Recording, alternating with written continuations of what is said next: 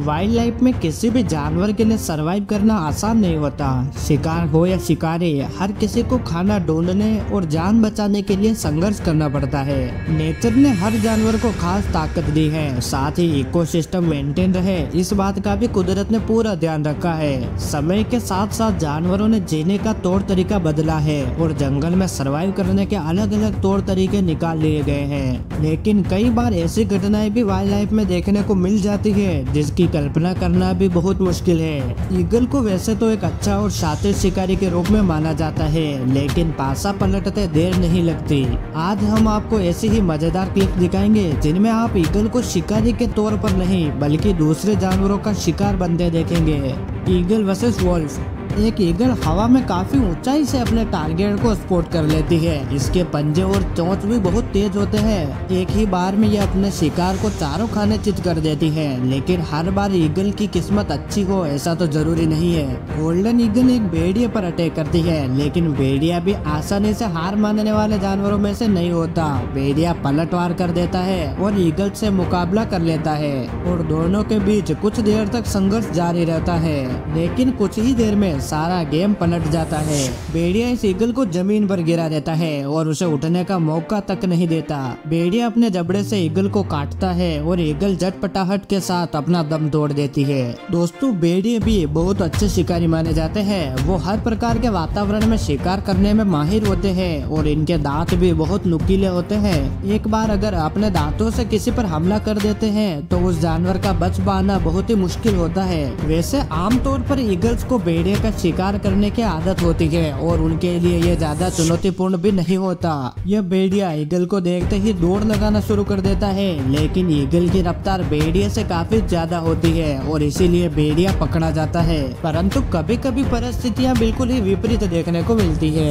Monkey versus eagle eagle food chain की list में सबसे टॉप पर आते हैं। इन्हें किलर बर्ड्स की श्रेणी में भी रखा जाता है। ईगल ज़्यादातर टिपिकल रेन फॉरेस्ट में रहना पसंद करते हैं और पेड़ों की ऊँची चोटियों पर गात लगाए बैठी रहती है और जैसे ही इन्हें मौका मिलता है, ये अन्य जानवरों पर अटैक कर देती है। इन्हें भोजन के लिए रोज़ाना शिकार करने की ज़रूरत नहीं होती। एक दिन खाना मिलने के बाद ये कुछ दिन बिना खाने के भी रह सकते हैं। एक ईगल के मुकाबले बंदर काफ़ी कमज़ोर माने जाते हैं, लेकिन कहा जाता है ना, अनेकता में ही एकता होती है।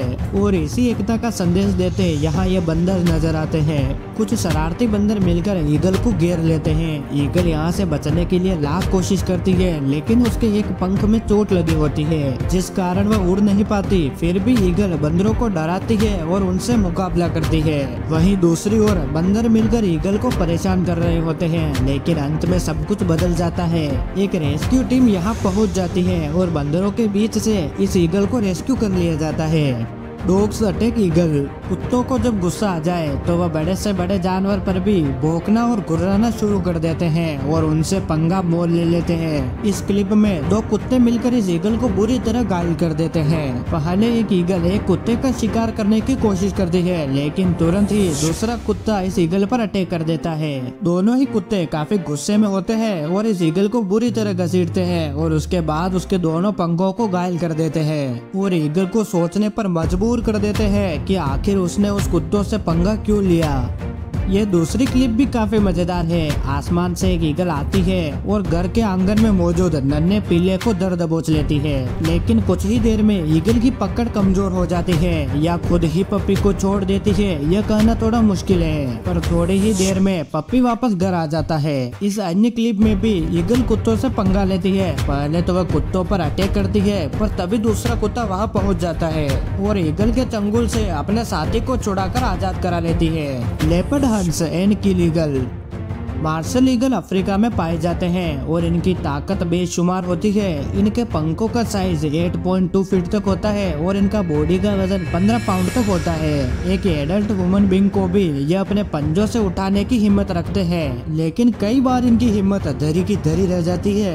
लेपर्ड के बारे में तो आप सभी जानते ही होंगे, इन्हें पूरे एनिमल किंगडम के सबसे अच्छे शिकारियों में से एक माना जाता है। अब जरा आप इस क्लिप को देखिए। एक मार्शल ईगल आराम से मैदान में बैठा हुआ है। और कुछ ही दूरी पर तेंदुआ काट लगाए हुए बैठा होता है। तेंदुआ अपनी ताकत और शक्ति दोनों का प्रदर्शन करता है और ईगल पर हमला कर देता है। ईगल को संभलने का मौका तक नहीं मिल पाता और इसी तरह से तेंदुए के लंच का इंतज़ाम हो जाता है। तेंदुओं के शिकार करने की टेक्निक भी कमाल की होती है। यह जंगली सुअर, पक्षियों और हिरण का शिकार करते हैं। वैसे तो मार्शल ईगल भी किसी मामले में इनसे कम नहीं होते, लेकिन इस बार यह तेंदुए से हार जाते हैं। अफ्रीका के जंगलों में ब्राउन स्नेक ईगल पाए जाते हैं। और जैसा कि इनके नाम से आप समझ ही गए होंगे कि यह असल में सांपों का ही शिकार करते होंगे।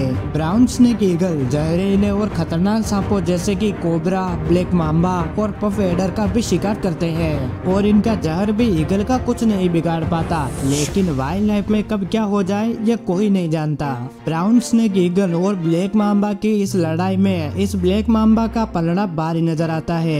वो ईगल को लड़ाई में हरा चुका होता है और रही सही कसर लेपर्ड द्वारा पूरी कर दी जाती है। लेपर्ड ब्लैक मामा के चंगुल में फंसे इस ईगल पर वार करके इसकी ज़िंदगी खत्म कर देता है। यकीनन ये ब्राउन स्नेक के लिए बुरा दिन होगा, इसलिए इसे बचाव का कोई भी मौका नहीं मिल पाता। जंगल में कोई भी स्थान ऐसा नहीं है जहाँ कोई भी जीव खुद को वहाँ सुरक्षित समझ सके।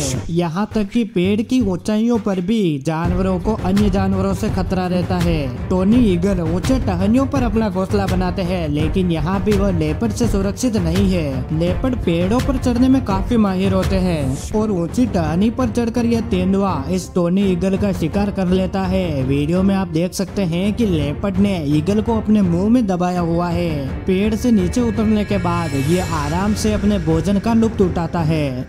लेपर्ड के पास पेड़ों पर चढ़ने की एक अनोखी क्षमता होती है, और ये इतने बड़े जानवर के लिए ये बिल्कुल भी साधारण नहीं है। असल में भोजन की तलाश में ही लेपर्ड की पेड़ों पर चढ़ने की यह कला विकसित हो गई है। दोस्तों, दुनिया भर में ईगल की 60 से ज़्यादा प्रजातियाँ पाई जाती है, और अर्जेंटीना को छोड़कर बाकी सभी महाद्वीपों में ईगल मौजूद है। लेकिन ईगल की कई प्रजातियों पर उनके अस्तित्व का खतरा मंडरा रहा है। वेनेजुएला और ब्राज़ील जैसे कई देशों में जंगल की कटाई के कारण ईगल की आबादी खत्म होती जा रही है। ऐसा कहा जाता है कि अगर धरती पर इंसान न होते तो वाइल्ड लाइफ ज़्यादा अच्छे से चलती। दोस्तों, आज की वीडियो को यही एंड करते हैं।